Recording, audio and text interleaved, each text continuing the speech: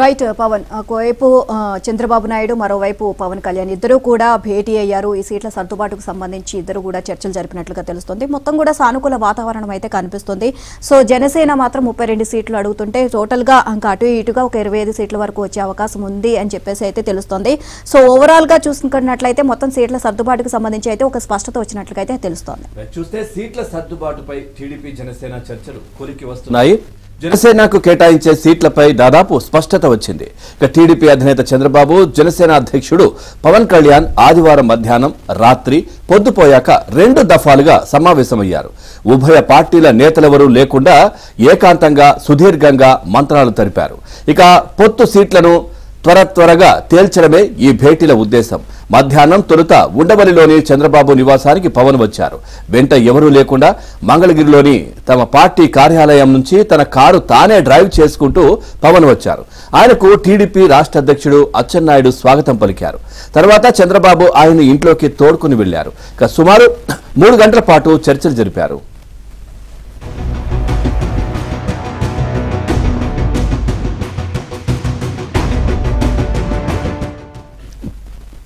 ప్రధానంగా సీట్ల సర్దుబాటు ఉమ్మడి మేనిఫెస్టో ప్రచార కార్యాచరణపై చర్చలు సాగాయి. రాత్రి తొమ్మిదిన్నర గంటలకు మరోసారి పవన్ ఉండవల్లికి వచ్చి చంద్రబాబుతో మంతనాలు జరిపారు. ఒక్కో అసెంబ్లీ స్థానాన్ని తీసుకొని అక్కడ అభ్యర్థి ఎవరైతే బాగుంటుంది ఎవరికి విజయ అవకాశాలు ఉన్నాయి తమ తమ సర్వేల నివేదికల ఆధారంగా చర్చలు జరిపారు.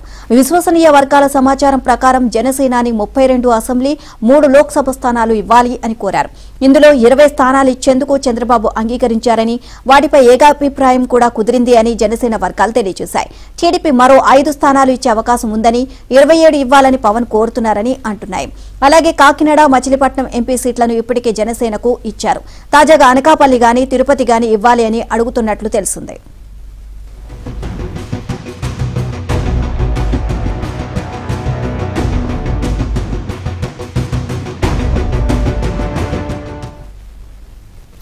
ఉభయ గోదావరి జిల్లాలు విశాఖపట్నం జిల్లాల్లో సీట్ల సర్దుబాటే ఈ పార్టీలకు కష్టతరంగా ఉన్నట్లు సమాచారం. ఇక జనసేనకు ఎక్కువ మంది నాయకులు అక్కడే ఉన్నారు.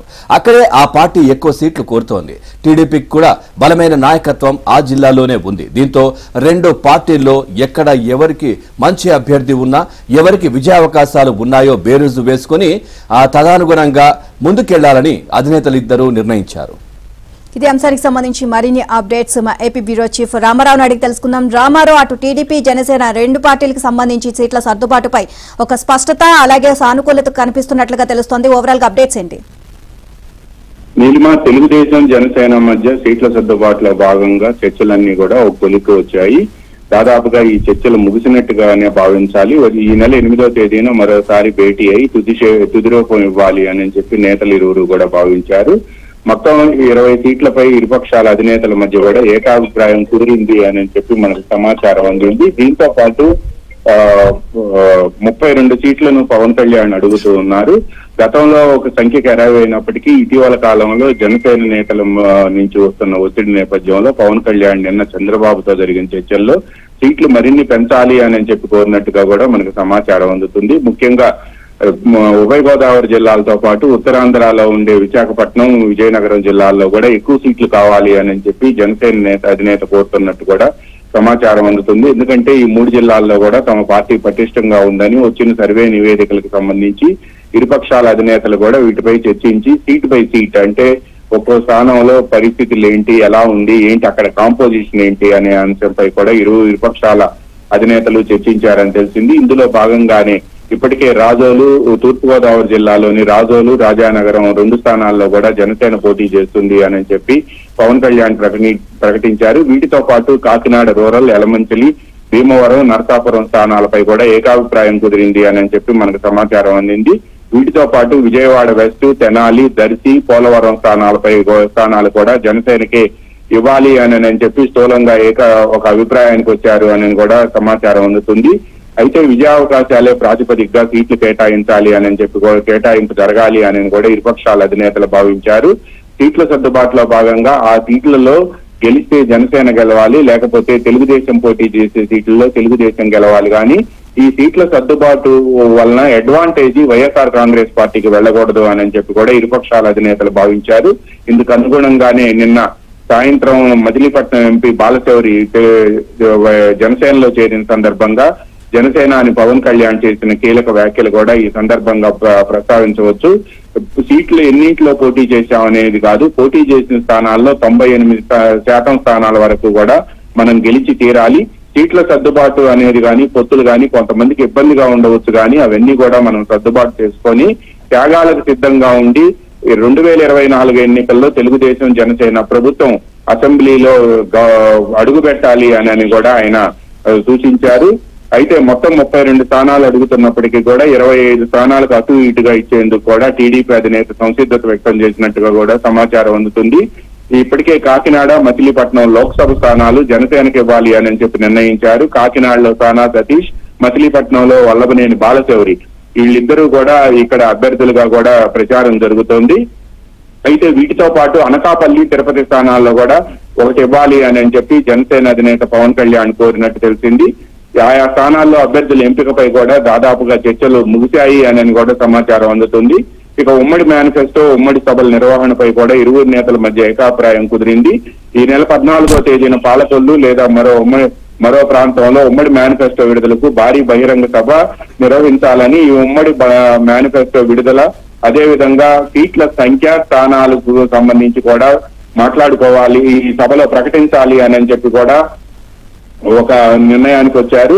అయితే ఈ వీటిపై ఈ నెల ఎనిమిదవ తేదీన మరోసారి ఇరువురు నేతలు కూడా మా కలిసి మాట్లాడుకొని దీనిపై సభ ఏ రోజు ఉంటుంది ఏంటి అనేది కూడా ప్రకటించాలి అని చెప్పి భావించారు.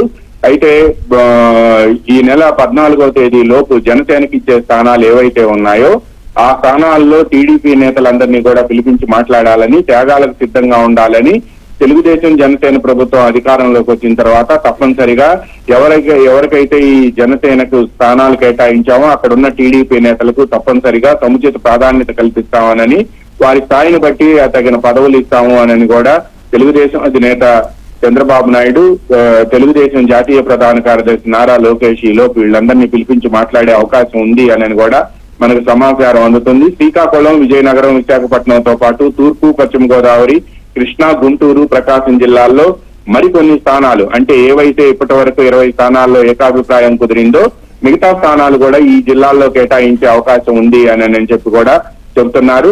అయితే తిరుపతిలో అసెంబ్లీ స్థానానికి అక్కడ వచ్చే అభ్యర్థిని బట్టి అంటే అక్కడ ఎంపిక అయ్యే అభ్యర్థి బలాబలాలను బట్టి అక్కడ ఆ స్థానాన్ని జనసేనకి ఇవ్వాలా లేదా అనేది కూడా నిర్ణయించుకోవాలని కూడా ఇరుపక్షాల నేతలు కూడా ఒక అభిప్రాయానికి వచ్చారు అని చెప్పి సమాచారం అందుతుంది. ప్రధానంగా ఇరుపక్షాల నేతలకి నిన్న మధ్యాహ్నం మూడు గంటలు రాత్రి మరో గంట పాటు జరిగిన చర్చల్లో పొత్తుకు సంబంధించిన స్థానాలు అదే విధంగా సంఖ్యతో పాటు ఎవరెవరు ఎక్కడ పోటీ చేస్తారు అనే అంశంపై కూడా ఇరుపక్షాల అధినేతలు సర్వే నివేదికలను దగ్గర పెట్టుకుని మాట్లాడుకున్నారు అని కూడా సుహృద్భావ వాతావరణంలో ఈ చర్చలు జరిగాయని గతంలో పొత్తుకు సంబంధించి ఏదైతే చిన్న చిన్న భేదాభిప్రాయాలు వచ్చాయో అవి భవిష్యత్తులో రాకుండా చూసుకోవాలి అని కూడా నిర్ణయించారు.